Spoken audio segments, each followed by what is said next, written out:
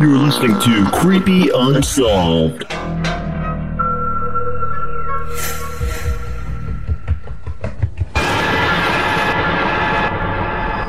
Alright, what is up, guys? It's Laura here, and we are back for another episode of Creepy Unsolved. Thanks for joining us. On this episode of Creepy Unsolved, our guest is our friend Lady Ann Celine. She is the owner of KPNL Paranormal Radio Station, an author, host of the Caravan of Lore podcast, and a lifelong experiencer. On this episode, we dive into her itinerary of a trip that she's taking to Ireland where many famous haunted locations will be visited. We also touch on some other travel stories and some of her first paranormal experiences. Before we begin, and while I have your attention, I want to invite you to visit our website, creepyunsolved.com. It is your one stop shop for all our podcast episodes, YouTube videos, and Creepy Unsolved blog.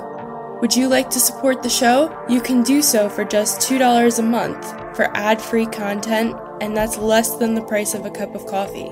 We also have a new Patreon tier that allows access to ad free content and bonus content. Visit our Patreon link in the show notes below. And one last thing before we get started if you have a story you would like to share with us or a future story suggestion, email us at creepyunsolvedmedia at gmail.com. Now, with that all out of the way, let's begin. Yeah, like we graduated with probably 36 people. I remember being in like fifth, sixth grade, and we had like closer to 80 because we had we had a telecommunication company called Adelphia in my hometown. And they went through a huge lawsuit. The company disbanded. A bunch of people went to prison. And when I took accounting in college, I actually like read about that company. It was crazy. I remember being in my house in town and like flipping on the news, and they have like cameras, you know, journalists Oh, and like wow. police officers and everything outside on this Mhm. massive multi-million dollar building. Where I live is like really tiny because you can tell by my 36 class members that I graduated with. Right. So it was like groundbreaking. And I came outside of my house and I looked down the street and I could see it. I'm like, holy shit, we're on TV. And it was the coolest thing ever. it wasn't cool for everyone who lost a bunch of money and their pensions Right. and you know, retirements and that that shit sucked. But that Oh, yeah. company, the owner used to own the Buffalo Sabres. He had a vision to turn my hometown into the next Pittsburgh. He Oh, he was planning on scaling up so big. There's a mansion in our town that was never finished. And it's really Oh, sad because wow. it, it was like a beautiful looking house, but all that hmm. money went away. So it Right. just ceased to exist. Wow, gosh. Yeah, see, I'm from a really small town as well. I mean, it always makes me feel really old when I sit there and go, Yeah, I remember when the first stoplight was put in town. Oh my god. Dude, yeah. yeah, and our graduating class was really small. I mean, town is only about a mile long, if that. So That's crazy. yeah, we- we got two, three red lights maybe. Oh And, wow. like, yeah. Well, I guess no, just two. So Yeah, we have an the intersection, and then we have one down the road. It's it's crazy. It's it's Yeah. a beautiful like mountaintop town in the middle of nowhere. The Mhm. convenience factors straight out the window. Right. When I tell Laura I have to go grocery shopping, it's like a 45, 50 minute trip. yes. No, Mhm. exactly. Same In here. any direction you go. Yep. If you want to hit a Walmart, you drive like 50 minutes in any direction you hit one. What we have is the dollar store, and we're fortunate Mm. enough to have two of them on each side of town, and they're Oh, like the shittiest store ever. Like I hate them. the running joke around here, I don't know, probably most of the country is just like random dollar stores popping up. Like Mm. every single town, they just have a random one popping up. And I remember driving down to Waynesboro, and we're out in the middle of nowhere, like middle of fucking nowhere, like farm field Mm-hmm. nowhere. And there's just a random dollar store sitting there. You could upgrade to like a Walmart at least to be a little bit better, but Right. That's true. That's true. Yeah, they've been doing that around here too, just in towns that are kind of far away from the grocery stores. It's like, hmm, let's put a dollar store here. Get your milk, eggs, and bread here. you like your Easy Mac and your everyday essential products, and Yeah. Yep. with, filled with horrible stuff for you. Mm-hmm. But yeah, we, you know, we come from small towns, and now, Lady Ann, you're traveling the world, and you're heading to Ireland, right? I am. Oh my gosh, it's it's incredible. I mean, I still have to sit there and kind of pinch myself and be like, am I really doing this? Is this actually happening? It's the first time that I've ever left the states, and uh, definitely the you know furthest I've ever been away from home. It's crazy. Like I, I was fortunate enough when I served in the army to go to Korea, and I made a Oh, quick wow. pit stop in Japan, so I can, you know, I can say I visited both of them places. It's so nice to get out of the United States and to experience Hmm. like different cultures and different parts of the world that you know many people never even get to imagine visiting. Oh yeah. But before we jump into your upcoming trip, you know, do you want to take a moment, just tell us a little bit about you for those who are not familiar with Lady Ann, you know, what you're about, what kind of stuff you're into. Sure. And yep.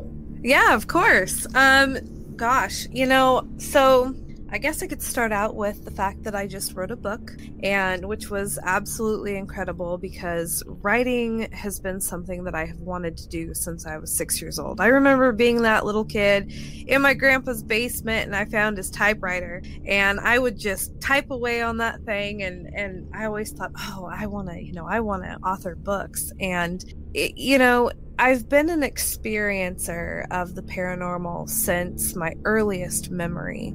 So of course, you know, the book that I came out with was it it's kind of um a journal, a diary, if you will, that follows every kind of uh, strange occurrence that I've had in my life. Um, it started out as a thing that I was just kind of writing for my children to leave behind because it seemed that as I went through life and as I did, you know, because I became my family's genealogist as well, uh, we have a long line of adoptions on my maternal side. And it seemed that there might have been something that was being passed on on the maternal side into the women in our family. So I thought, you know, I think that just in case it would be nice to to write everything out from day one up to the current point especially you know because we're not promised tomorrow. We never know what's going to happen. And so i wanted to leave that behind for them. Well you know one of my my very first memories was i was only about a year old and my father had taken me to the babysitters. There was this big beautiful sliding glass door and out this window you could see just this vast farm fields and it was flooded and it was early morning so the sun was rising and there was those brilliant oranges and pinks and yellows. And as i looked on this scene i thought wow i came back. And it was just and and that's always stayed with me. And it's something that you know i i, I just knew. I knew that uh, reincarnation uh, was a thing. And even as I grew, I had these reoccurring dreams, and I knew that, you know, like in one of them, I was this soldier, and it was so real. You know, I remember entering this room, and that there was a bed over on the right side of the room, and in the middle, there was a table. And then right in front, there was this window, and I remember looking out and there was it was just absolute destruction. Well, as I stood there in this empty room, the door flies open behind me and I get shot in the back. And I could feel it every single time I had this dream. It was so Wow. real and I could feel it. So I, I dropped to the ground and I think to myself, okay, I'm going to just try to crawl to the table because the table had this uh, tablecloth on it. And I thought, I'll, I'll pretend that I'm dead and I'll lay here until they're gone. They'll think that they got me, but I actually end up dying. I didn't make So, you know, I've so there's never been a time in my life where I didn't believe that, uh, you know, that reincarnation wasn't a thing. And that is why with my book, I ended up using aperture in the veil. And, you know, aperture if you think of the the camera, the opening on a camera, my hmm. my parents were photographers. So, you know, cuz I wanted to use a more antiquated word rather than, you know, something fancier than just opening in the veil because it said that when we come here, we are born into this great forgetting. So we don't remember you know, generally, we don't remember our past lives. We don't remember that we've been here before. But what would happen if there was that opening in the veil where we pass through it? Then we would retain some of these memories. And then with Born in a Preternatural World, a lot of people ask me, well, what is preternatural? Why did you choose that? preternatural, instead of using like supernatural or paranormal, it shows that all the stuff that is happening in our world that we experience in those categories is actually very normal to our world. Because if you think about it, the human eye doesn't see everything that is going on around it. The ears don't hear everything that is going on around it. So, Mm-hmm. and you know, when you when you're in this community and you hear these stories and especially when you're when you're coming out and you're saying, "Well, I experienced this." And then, you know, cuz I'll never forget my very first podcast that I was on. After I told my stories, I had messages from people all over the world. I remember somebody messaged me from New Zealand and they said, "I've experienced this too. I've seen this too." And it was it was such a big moment. And as I have, you know, continued on, I've realized, you know, this stuff is actually very normal in our world. Yeah, I couldn't agree more. And it's it's awesome to have platforms like podcasts and YouTubes to you know have people share their experiences and you build a whole mm-hmm. network and you connect and you talk to like-minded people and experiencers and it's a beautiful thing really. Now i wanted to jump back into your dream about being a soldier. Mm-hmm. Now were you able to you know you talked about genealogy and being your mm-hmm. family's keeper. Were you able to like pinpoint you know who that was that you were in a previous life or anything like that I do not believe that this individual was in my uh, genetic, you know, in my bloodline. I think that I was incarnated into another bloodline. Um, I don't even know what war it was because the memory, everything is um, like when I when I sit and try to remember and look out the window, the buildings are they're like a gray color and like a gray brick or stone and I mean everything is just in utter destruction. There's I mean the buildings are crumbling and the sky is gray as well. So I, I can't even recognize where this would be. As for my uniform, um there again too it, it seemed to be I mean all the colors were very muted. Um I would say it was like a, a gray but maybe like a gray green type of a um a uniform. I don't remember wearing any kind of hat or helmet on my head. So I, I really I really haven't figured out much about that, but I had it so many times, you know. It's yeah, it's such an interesting thing. Like I kind of have similar experiences, not not to that aspect though, but hmm probably back. I remember telling Laura about this. I don't remember if it's earlier in this year or late last year. I was going through like a series of dreams. I'd keep dreaming that I was someone else. Like every night, I'd Oh, be wow. someone else, and like I'd be living their life while I was asleep. And I don't, I don't know if that's, I don't, I don't think there's any Mm. connection to you know that actually being someone else's life or whatever I'm living it Right. because like what terrifies me is the thought of waking up and being someone else and having like no Oh. connection to your previous life so i think a lot of that was brought on from like a personal fear that maybe i was Mhm. you know thinking about at the time and then i was living out them thoughts in my dream. But it was so like vivid and it felt so freaking real. Like i was right there. Oh yeah. i was that person. I was living like their day-to-day life. Like nothing right. like out of the ordinary happened. Like there was no no deaths or no like hmm life changing moments that happened. It was just like bland just normal day-to-day activities it's so interesting dreams and thoughts and connections you make i've been talking to a friend about uh, spirit guides lately She knows that friend. She's friends with her. You could use her name. oh okay yeah i was talking to cisco about spirit Oh, yeah. guides and I love her.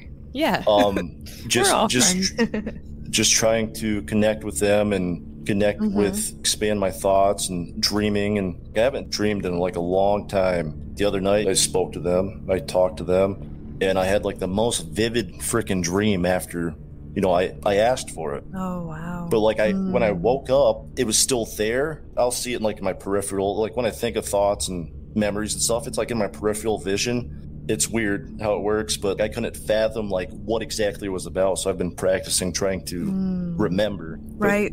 possible gateways that dreams open and connections to past life or premonitions Oh, yeah. and stuff like that it's it's awesome It really is. You know, it, it's It's so interesting that you bring that up because I I don't know if you guys have seen my posts on Facebook, but occasionally I will post a dream that I had.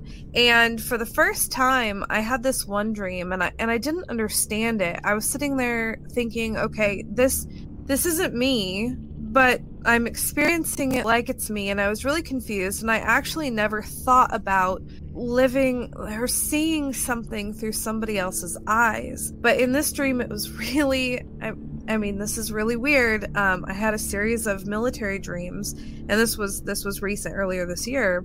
And in this particular one, we were, I was in this uniform, and I had never seen this uniform before, and we were supposed to do a drill. We were, it was, we were gonna get into an aircraft, and it, it was just it's hard because it's hard to remember because now it's been so long since I've had it. But when I went to go look at the uniform, I did find it online. And it was actually a Russian special forces uniform. And the eerie thing was, is this was in January, right before everything happened in February. Yep. Yeah, it was uh it was weird. It was weird for sure. And that was the first time that I started talking with other people about, you know, kind of in a dream looking through somebody else's eyes but uh, but there again you know this is of course a, a, whole new rabbit hole to go research down because why would you have that connection with that person were they awake at the yeah. time were right. they asleep at the time you know so it's or, it's fascinating were you getting something in the future some somebody else's stuff and you were picking right. up on that exactly yeah, there. Yeah. I, I, feel like there definitely has to be connection with dreams and stuff. There, there's such a big part of your life if you really think about it. That's like, you know, normal people they sleep eight hours a night. I, I get a little less, mm-hmm. but like just studying the thoughts and uh, you know the stories behind dreams, it's something to really tap into because you know oh, yeah. just the feelings and the emotions and what you can learn from them and possible connections with other people. And I thought, you know, with lucid dreaming and building your awareness with being in your dreams and being able to make mm-hmm. different things happen. Like I was saying today, I'm like, how cool would it be to figure out how to like write for my podcast or to edit for my podcast while I was asleep? And once I yeah. figure that out, I'm gonna I'm gonna patent that shit. I wish I could freaking edit in my sleep. Oh my god, that would be amazing. yeah, I've had so many dreams where not not recently and I'm not really sure why, but maybe 10 years ago and even teenage and younger years that I've had dreams where I've dreamt something and it was like something when I woke up I was like that was an important dream. And then months down the road, weeks down the road, even a year or so down the road, exactly what I dreamt happened and oh, I don't wow. have any explanation for it. Dude, I'll tell you right. a couple more dream stories and then we'll jump into Ireland. So I've been I've been talking to a friend that has another podcast and you know, she was we are talking about dreams and about like uh hyperphantasia and aphantasia and prophantasia and all this different it, it's just basic how you how you think and how you project thoughts and different yeah. stuff like that. Like if you know what hyperphantasia is, you I was really just gonna vivid, say really no clue what that means. Same. So, okay, at least I'm not the only one. so I got on this topic from a TikTok that my wife showed me, or we were talking about, and she's like, "Did you know some people can't envision thoughts? So when they think of something, if they when they close their eyes." And you think of like a memory or an object or you know, whatever it may be, it's just it's darkness. They don't see anything. They they don't have like uh, in a I don't know. I'm, I'm sure they have an imagination, but they can't project thoughts as like a object as vision. So if you're aphantasia, it's just darkness whenever you think. There's people that work for like Pixar and Disney and like Universal Studios and stuff, and they're aphantasia, but they're amazing like graphic designers and storytellers and stuff like that. Then you have hyperphantasia, where you have the most vivid, descriptive, visionary thought. When you think of an apple, you see like a crisp red apple. You don't just see like a drawing. You see like every detail, like whatever it may be. When you think of like a memory, you can close your eyes and play like a movie. Then you have prophantasia, where you can project your thoughts out. You're just looking at something right now. You have almost like a film over your vision, like if you think of opacity oh, yes and like you turn it down really low but you, you can see it but you can see through it they can like project their memories oh, wow. or thoughts out here or they can look at a wall and they can like see an object built on it. I've been reading about it and I think I'm more prophantasia. I was saying with my peripheral, I can see like I can see the thoughts, I can see the memories.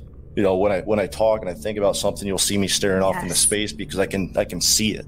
So That's awesome. Me too. we, we got talking about that. We got talking about you know spirit guides. We got talking about uh, you know dreams, and this is back into the dream thing. And then we were talking about lucid dreams, and sh- she was saying that she taught herself to lucid dream when she was young because she'd have like horrible nightmares, and she had to teach herself that you know these aren't real. So I remember when I was a young, like seven, eight years old, it went on for probably a year. I could dream of a clock and I could watch the frickin', you know, the arms on the clock spin around circles and I could stop it at a certain time. And when I woke up, it'd be that time. And it was the coolest fucking shit Oh ever. wow, Like to the minute. Like it was nuts. And like, that's cool. I don't remember how long it lasted, but it felt like it was a good year. Then it just went away. During that time, it was the coolest shit ever. Like I'd think of like 9:36 a.m. and I'd open my eyes, it'd be 9:36 a.m. or 10:30, and so on and so on. It was pretty sweet. Like I don't even know how to describe it. Wow. Like just I don't know if it's just a, a random thing happening or like I had uh an internal clock because if you wake up the same time every day, you know right. your body gets in tune to that. But just to like pick different times and to have it stop on that dot, you wake, you open up, Oh yeah. open up your eyes, you wake up, and then it's that time. But I don't know if you guys have experienced anything like that. I'm gonna say, what Uh, if you? Oh, sorry. Go ahead. No, please, no, please. No, I was just gonna say almost like what if you were kind of like in an astral projection projection, I can't talk again, state and you were like seeing your clock and not realizing it or something like that. That'd be sweet. I, I don't think I had a time, or I don't think I had a clock like in my bedroom or like an alarm clock or anything like that at the time. Oh, you, oh, okay. I'm Yeah, like- thinking I'm picturing you like in bed waking up rolling over and looking at your alarm No, clock. no, it, I, Okay. I was I was like eight years old. I had a bunk bed. I didn't, Oh. have, a, I didn't have a clock, but Gotcha. I mean, I would wake up knowing what time it was, but like, because I would get up in the middle of the night and I'd go get a glass of water or something like that. yeah. And I would pass by the clock and I would see that it was exactly the time that I just internally knew that it was. And that was Yeah. always really interesting. My mom is so good at that. My entire life, you know, we'd be outside doing yard work or she'd go out by the pool or something and she'd be like, "What time is it? About 3:30?" And she's like Mm. on the freaking dot like her whole Mhm. life. I'm like, "How do you do this shit?" It's crazy. She just did it Right. the other day when I saw her. I'm like, "What?"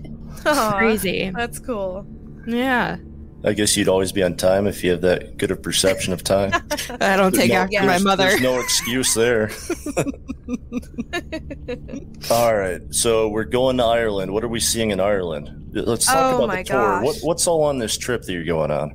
Yes. So, gosh, we are going to the Seefin Passage tombs. That is uh, right off the bat, which they're like 5,000 years old. There were no, from the research that I've done, there was no bodies or anything uh, buried there, but it is an ancient ceremonial site. And so that's right off the bat. From there, we will go to, I think it's, it's the highest cross that's in Ireland, and I think it's called the Moone and then we are and this is all on day one and then we are going to and i might botch some of these words but uh Oh, the names Castle- are- yeah I was like, "Oh, I hope maybe she knows how to say these cuz I'm going to butcher them." no exactly it's it's definitely one of those things where it's just like uh I- i'm gonna try Mhm. but uh you know then kilkenny castle which it was gosh i think it was built it- it's got to be Okay, which day is this? I got all these links and I got like 10 tabs open up, no lie. Because I was this- researching this right. all today. no exactly I've, I've got them open too Okay. So this is still we're still on day one. oh my god, can I just So- say that I'm going through this and I'm getting so excited and I'm like, wait a minute. I'm not going. This sucks. I'm going to have to go on the next trip. Oh, for sure. I mean, there's definitely there's definitely going to be me more after this for sure. And I'm Mhm. just you know, it's one of those things. Here again, I'm going to backtrack a little bit. I was just talking about this with someone. Over a year ago, I had wanted to go to Ireland and I wanted to go so bad. But here I thought, gosh, you know, it just seems like a dream. But let me tell you, like I named one of the chapters in my book, Manifestation, the power of the mind, the energy that we hold. If you really want something, I really believe that we have the ability to manifest our reality and the things that we want, we can really pull them to us because here again for a long time i i just didn't think that uh, i'd ever really leave the united states. I didn't really think that i would travel. I didn't even really think that i'd fly to any other states. And here i've been to colorado ohio arkansas texas and and everything. And it's just been i mean i'm still in awe. I'm still i mean here i am. I'm it's it's happening this month just in a couple weeks. And i'm still kind of going is it is this really happening so on day two, going to the Rock of Cashel, which is also known as St. Patrick's Rock. And then, gosh, I mean, we've got Cahir Castle is after that, and then uh, the Blarney Stone, you know, uh, where people go and they'll they'll kiss the stone to get the gift of gab. I'm going to interrupt you for a hot second because I mm-hmm. saw a TikTok or something, and I'm pretty Yes. sure this was it. If you or you're laughing, you know what I'm going to say. Where the locals pee on it, and then all these tourists are going up there. They pee oh on it god. like out Yep. at night after they've been at the bars and everything. And then the next day, you know, when it's sun's out, people are visiting this. They're going up there kissing Right. this rock. Dude, I'd be sitting back laughing at everyone that's kissing the stone on the tour. That's Oh, yeah. No. I heard about You- you're not gonna long kiss it, time right? ago. No. you know, honestly, I think that uh, I think I've got the gift of gab already. I mean, I am Scottish and Irish. I don't need to be. I'm not going to kiss any stones. We're good there. That's for. Um, you know, uh, and then I mean, I- I'll tell you, I'm going to skip uh, through this a little bit and and mention that I'm one of the highlights. The place that I'm really looking forward to the most is Spike Island Prison. That one really stands out uh, to me because it seems like there's something that happens the second that the universe is like, okay, this is happening. Because I begin to have visions from certain places, and it was Spike Island that spoke to me the most out of every single place on this list. This was the place.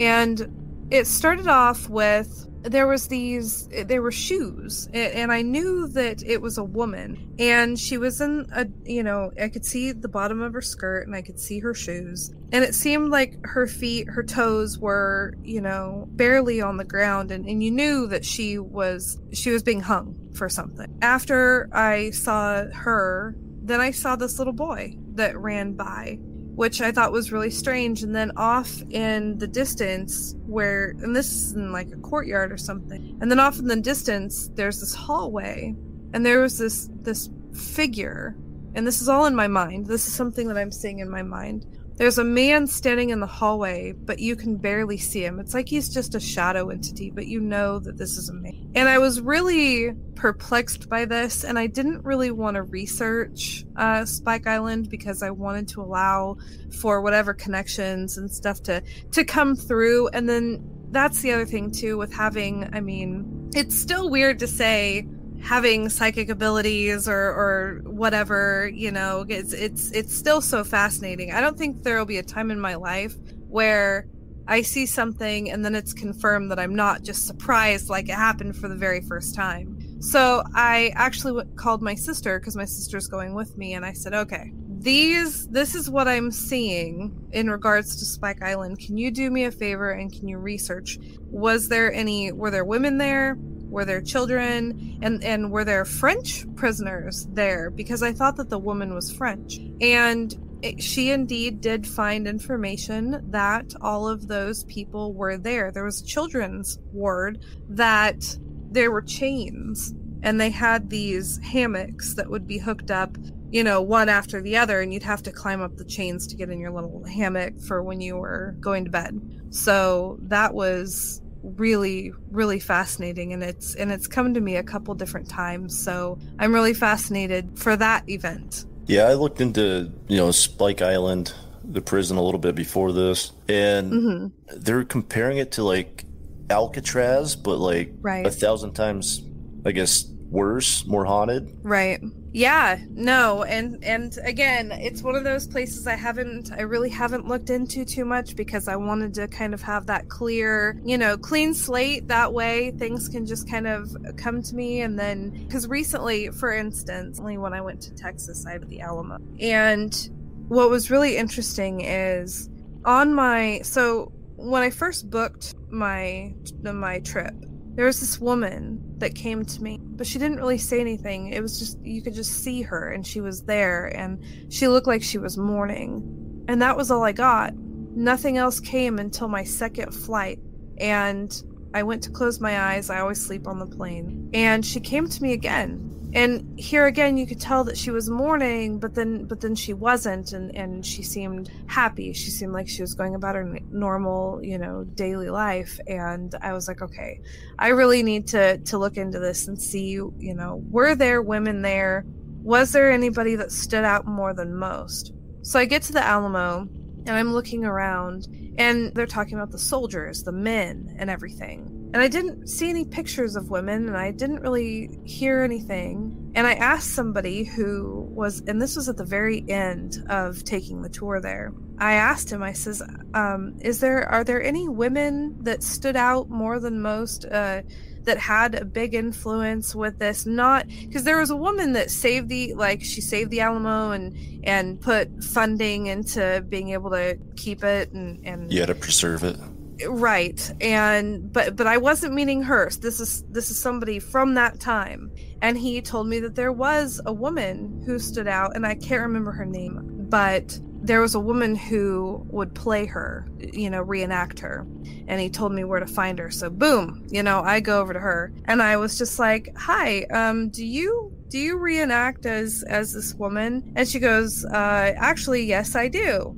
And I was like, I, w- I was just curious if you could, if you could tell me more about her. Um, you know, and she talked about how she was kind of like she was a princess. She was she was rich and she had two husbands and and they had died. She had been a widow twice. She had this 11 month old baby that was there, and he when he grew and he was older, he was the last known survivor from the Alamo. And during this conversation, it was so crazy because she looks at me and she just stops and she goes, Why her? Why do you want to know about her? Well, I'm still nervous about telling random people, well, I had a dream. Yeah, naturally. You know? and so I'm just, I, I, I'm on the spot and I'm staring at her and I'm like, uh, well, see, I, I had this dream and, and this is what she looked like and this is what it felt like.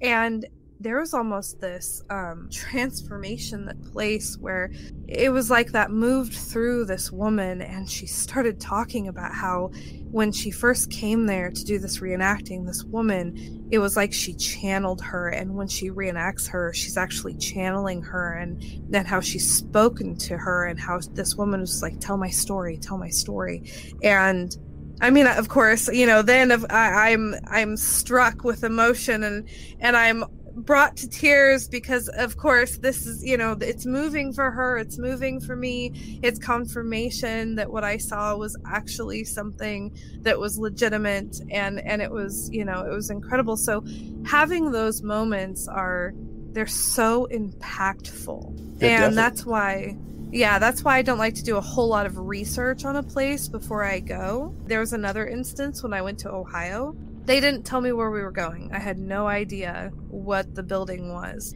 And when I had landed and I met them and we were talking in the kitchen, I had a vision again of a location within a building and i was like you know do you have a, a, pen and paper can i can i write something down or draw something so i start drawing this out and it's it's like a ramp with the the railing and and i'm drawing this out and i'm telling them the colors and i'm you know pointing to to the room that it's going into and and their their jaws just kind of dropped and they're like wow you know wait wait until you see this wait until you see and i'm like this is real? Like this really exists?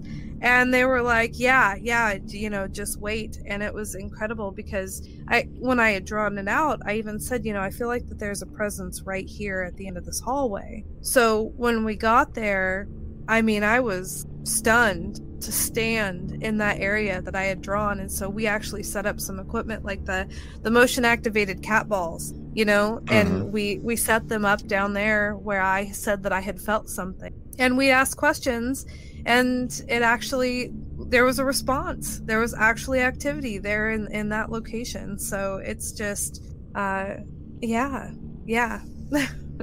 Now, having these two events happen to you, has it like jogged your memory to, or made you want to go back and think about other events that may have been similar, but you didn't really put two and two together at the time? Have you found anything like that?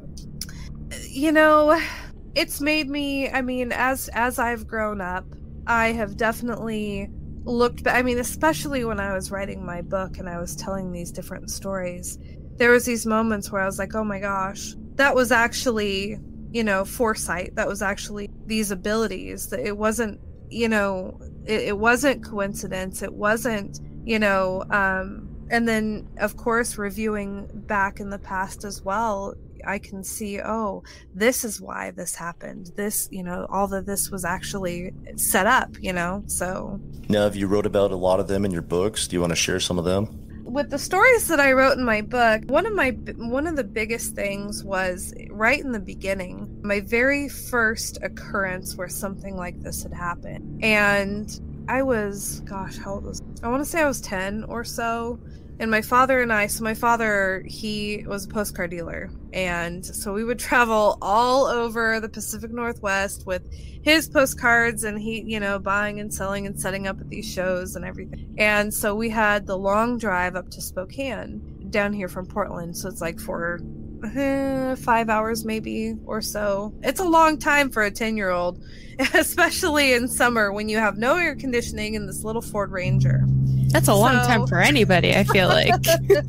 oh yeah, exactly. Well, we're going up and I'm and I I'm tired. It's in the morning. It, it's not too hot yet. And I'm like, okay, I'm just gonna try to, you know, go to sleep for a little bit longer until we get there. Well, I remembered this movie. I could see the scene in a movie. It was from Fly Away Home. And in the very opening scene of this movie, there's a little girl and she was with her mom and they got into a car wreck. The mom didn't make it, but she did. And I'm and I'm sitting there and I don't understand. I'm like, I don't want to think about this. I, I don't I don't want to think about this. I'm in the car with my dad. This is, you know, so I sit up because you know i'm i'm you know just trying to get my mind off of it and i'm going to think about other things. But the thing was as soon as i opened my eyes and i sat up there was an explosion. Like it, it, it sounded like a gunshot. And what had happened is that the tread came off of the tire completely just. And so in the little ford ranger um, it rolled over twice. And um, my dad had you know put himself over me and yeah I- just remember it going black and and luckily we actually landed right up. We, we landed on all four tires. And the only thing that i ended up getting was this little scar on the back of my uh, back of my hand. I only needed two stitches. That was it. And um but i was in major shock. I was in major shock and they had to Oh, no pull me out of the window. Yeah and Wow. you know because it, not only was it shock that that happened but then there was the shock of the fact that i was thinking about that right beforehand. And then i had guilt. I, I sat there and i thought should i have told him that i was sick like car sick or something and had him pull over? Is you know Mhm. maybe maybe if we would have gotten back on the road but at a slower pace then you know so i, I it was really um difficult to um to process that. But then you know in other podcasts i've been asked about that because it, it could it i don't know if you want to call it a near near death experience i mean i I got lucky It's, it's pretty close, yeah. yeah and since then you know because a lot of the time they say sometimes when you have an experience like that it also opens you up to yeah, where I've you heard have that a bunch, yeah. Yeah, Mhm. definitely. I have a friend that that's true for. And Right. how is your dad too? You oh know? if he so if he wouldn't if i wouldn't have been in the car and he wouldn't have leaned down to lay over me the section right there where his head is that was all caved in Holy he, shit, he dude. wouldn't be here that's Wow. insane. So it, it's almost more of a blessing that you were there yes than anything, the way I take it. yeah no good way to no Look at it. I can I can definitely understand like almost like the survivor's guilt Right. with you know having that dream beforehand and you know Mhm. that happening. But like, how would you you know have known? You know, but when you're Oh yeah. 10 and you're thinking about it, you know, obviously you're in a different state of mind. But Mm-hmm. wow, that's like some final destination shit right there. it is though. It really is, and It it's just been is. incredible. Yeah, I mean, ever since with uh with all of that, it's you know, it's so. But then you get nervous as you kind of go through life experiencing these things because you can't just jump to the co- the conclusion of oh because I'm thinking this it's going to happen. We all worry, but everything we worry about isn't going to be you know isn't going to happen and so learning discernment can be a little tricky when with all of that Yes, definitely. and then again learning forgiveness which you know of course brings me you know into uh, one of my one of my beliefs is that we are here you know that the soul incarnates here to learn unconditional love and forgiveness and so you know i think that there's a lot of things that we experience in this life that i mean they're all lessons to ultimately achieve that yeah, definitely. You know, life's a guide. It's a lesson. I what Mhm. I like to think is, you know, I'm I'm close to reincarnation. I think, you know, that's definitely a possibility. And like every reoccurrence of life is a new lesson you learn. And I don't know Oh, what yeah. the the ending is, but I think with every if we are being reincarnated with every lifetime, there's a new new lesson, a new Mhm. new story to be told, a new something to learn, something to believe, to take on next and next and they sometimes say like if you had a really you're a really bad person you come back and you struggle the next lifetime and so on Right. until you, you learn it like a balance with the universe or something. Mm-hmm. Exactly. I agree. Now i was going to chime in when you're talking about your story. I did have a strange occurrence the other day. I was telling laura about it when you know i rode my motorcycle to work and the whole morning leading up to that freaking my neck and my shoulders and my joints just freaking ached Sent me a text message. You're like, I feel like shit. And I'm like, Are you getting sick? Didn't you say, like, I don't think so or something? Uh, like I felt fine. Like I don't know. Like I didn't, I didn't feel like I had a cold or like a sickness coming on. Just like my joints ache. So like I go home every day for lunch. I hop on my motorcycle. There is like a grocery store next to the hospital. It's like 45 mile per hour through there.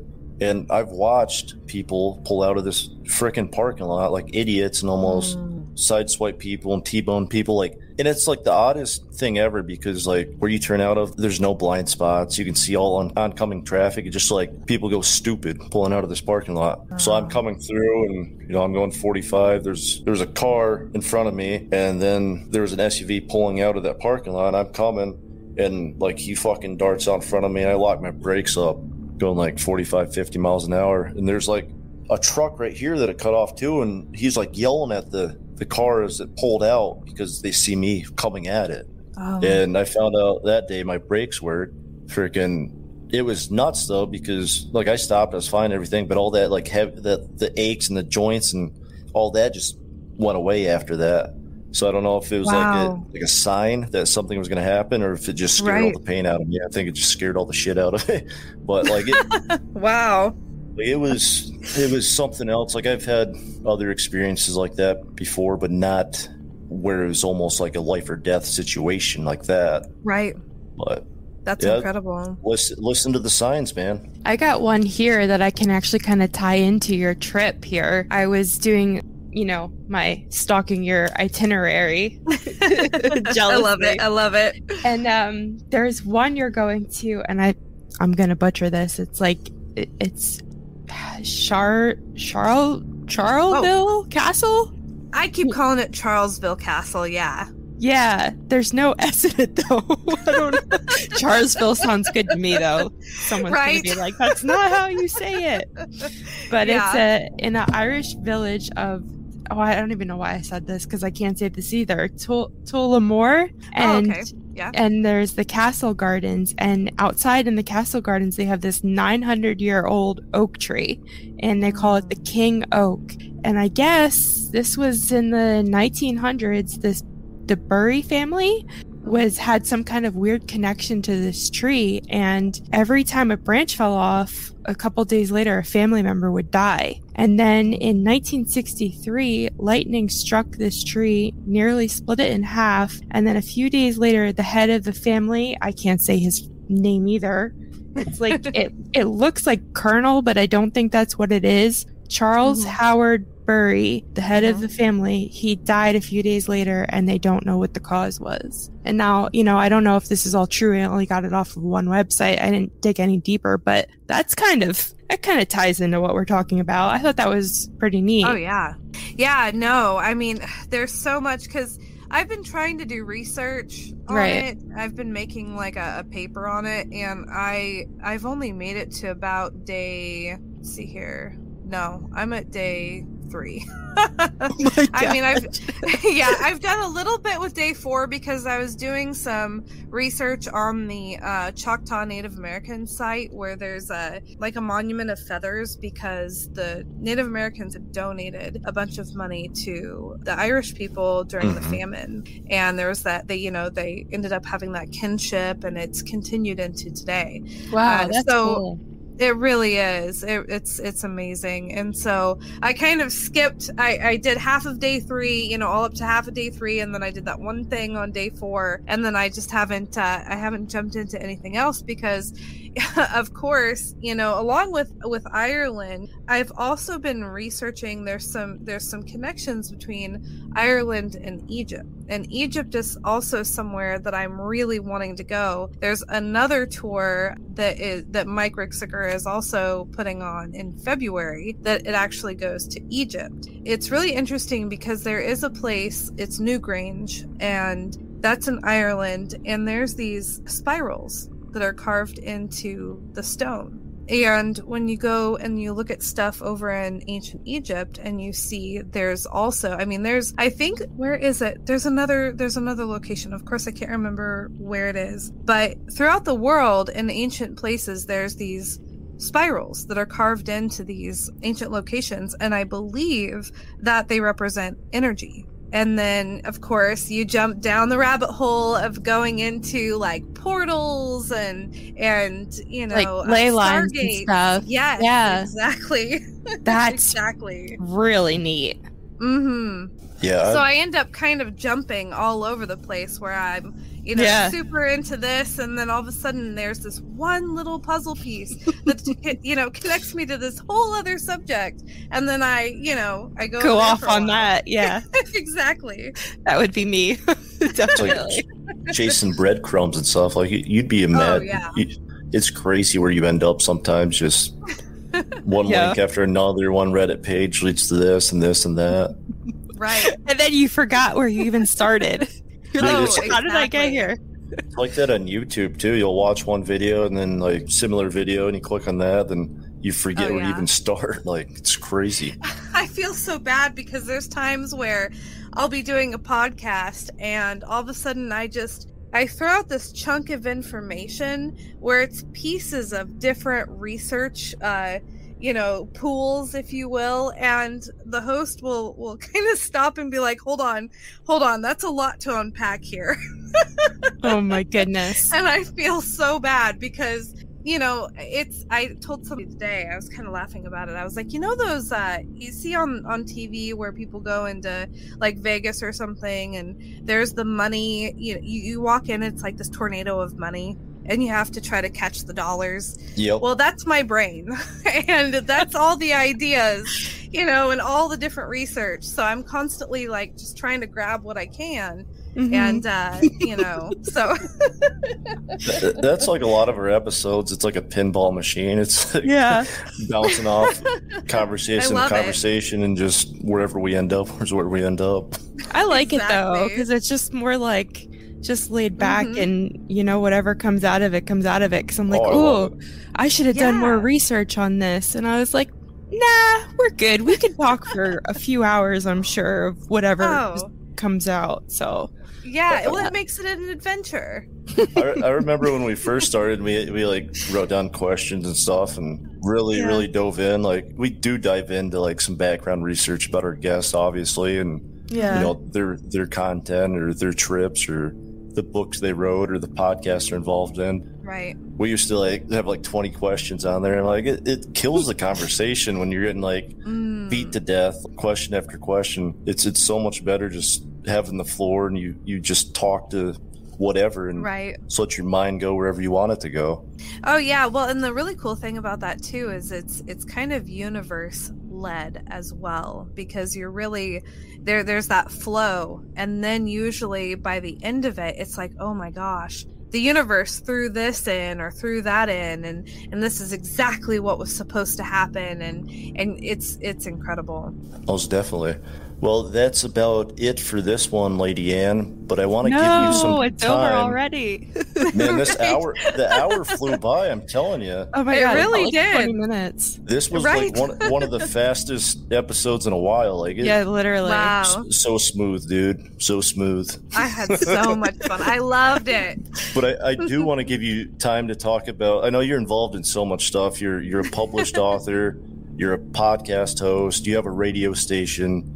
You know the whole nine yards. So I do want to give you a moment to talk about you know all your awesome content, where we can find it, how the listeners can tune in and listen to all your stuff.